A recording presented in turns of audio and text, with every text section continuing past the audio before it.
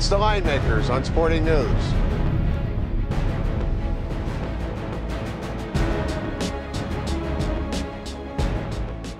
Army Navy, and what a great tradition it is. It's a standalone game. They get their day in the sunshine.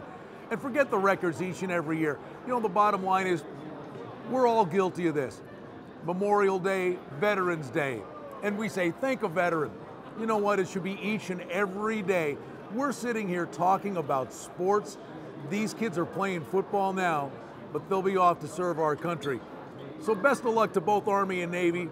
It's a memory they'll have forever. But we'd like to say, on behalf of all the line makers, thank you.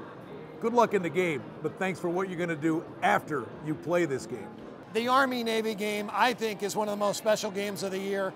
It's a must see TV. It's two football teams that are playing each other that you know these kids are not going on to the NFL and play. They're not going to be professionals. This is their Super Bowl. All of these kids are going to go on to help defend our country. So, from all of us to all of you playing in this great game, Army Navy, we wish you the most success and health for the next coming year. Go get them on the football field, Army Navy. Army Navy. It doesn't get any better than Army Navy. The tradition, the passion, the, the, the excitement, and just the spectacle itself. I grew up in Pittsburgh, never went to the game.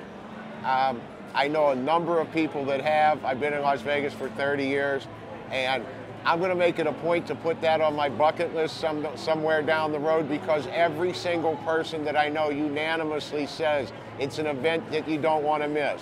From all of us to all of you, thank you for all you do.